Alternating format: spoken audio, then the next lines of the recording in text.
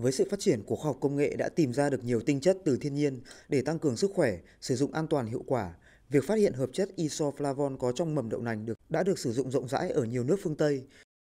Tuy mới xuất hiện ở Việt Nam khoảng 5 đến 7 năm gần đây, nhưng các sản phẩm từ mầm đậu nành đã được người tiêu dùng ưa chuộng.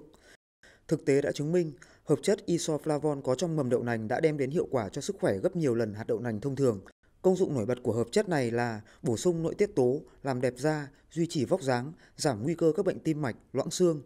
Nắm bắt nhu cầu thị trường, công ty trách nhiệm hữu hạn đầu tư thương mại và dịch vụ Vạn Thịnh Phát đã nhanh chóng áp dụng khoa học công nghệ để đưa dòng sản phẩm mầm đậu nành nguyên sơ hoa xuân phục vụ nhu cầu của người tiêu dùng.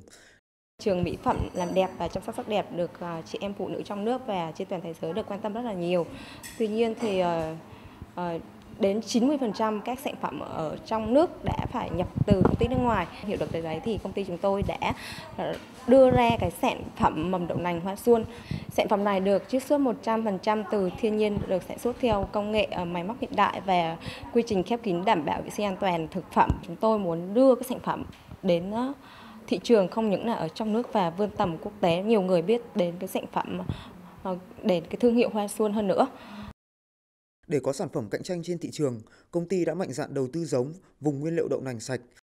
xây dựng hệ thống máy móc hiện đại khép kín trong quy trình ủ mầm, phun xương, sấy hạt đều được thực hiện khoa học đã giúp hạt nảy mầm tốt, sạch sẽ, an toàn, đảm bảo chất lượng dinh dưỡng cao. Qua đó, các sản phẩm của công ty được Viện Kiểm nghiệm Quốc gia đánh giá đạt tiêu chuẩn cho phép theo quy định của nhà nước.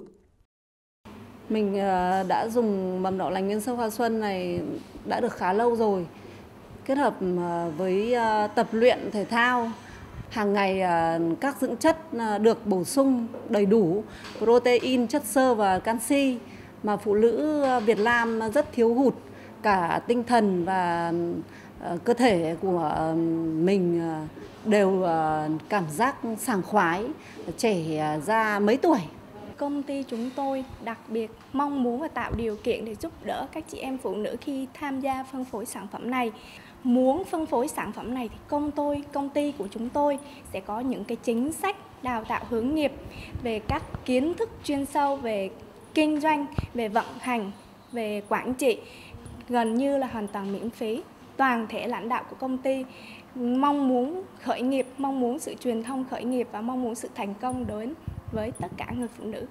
với chiết xuất 100% thiên nhiên, thương hiệu mầm đậu nành Nguyên Sơ Hoa Xuân được người tiêu dùng bình chọn top 100 thương hiệu ưa chuộng Việt Nam 2018. Giải thưởng là minh chứng khẳng định uy tín và chất lượng sản phẩm để khách hàng và công ty có động lực phát triển bền vững và mạnh mẽ trong thời gian tới.